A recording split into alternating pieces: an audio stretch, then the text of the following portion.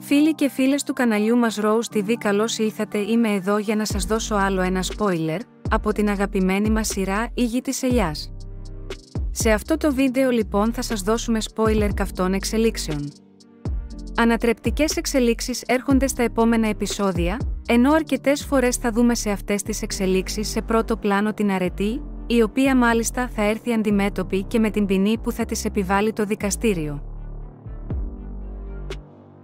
Η πρώην γυναίκα λοιπόν του Στάθη Καπερνάρου θα έρθει αντιμέτωπη με μια εξέλιξη η οποία θα την σοκάρει και θα την αφήσει με ανοιχτό το στόμα, αφού δεν περίμενε ποτέ ότι ο Θανάσης θα έφτανε σε αυτό το σημείο. Η αρετή θα κριθεί ένοχη για εξύβριση και για σωματική βλάβη και θα καταδικαστεί.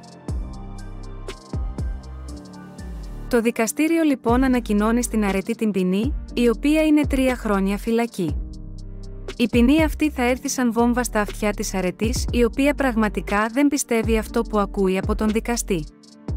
Θα ασκήσει έφεση η αρετή ή ακόμη θα μπορέσει να εξαγοράσει αυτή την ποινή, όλα αυτά επί της οθόνης μας πλέον στα επεισόδια που έρχονται. Φίλοι και φίλες, οι εξελίξεις τρέχουν στις αγαπημένες μας σειρές, αν μας βλέπετε για πρώτη φορά, κάντε εγγραφή στο κανάλι μας, ενεργοποιήστε και τις ειδοποιήσεις με το καμπανάκι, για να μην χάνετε τα επόμενα spoilers που θα ανεβάζουμε στο κανάλι. Σας ευχαριστώ πολύ που με παρακολουθήσατε.